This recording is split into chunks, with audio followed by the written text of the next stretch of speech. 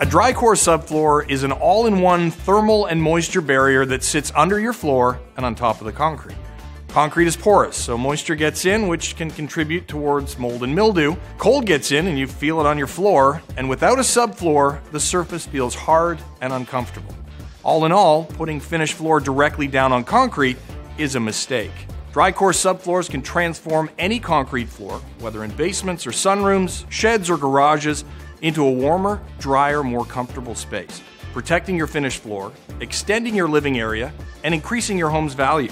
There are three DRICORE subfloor panel types. DRICORE subfloor, the original subfloor, with an R value of 1.4. DRICORE subfloor R Plus, which adds more insulation so floors feel even warmer, with an R value of 3. And DRICORE Insul Armor at R4.1. It's even easier to install and is best used with hard surface flooring. No matter which panel you choose, DRICORE subfloors feature air gap technology, which keeps air flowing and helps keep moisture away from your floor. They make floors feel warmer and they cushion against hard concrete, making floors more comfortable to walk on. They're also light, incredibly tough, and they come with a 25 year guarantee and they're super easy to install. I finish most rooms in half a day. It's the perfect DIY project to take on. DRICORE. Don't build without it.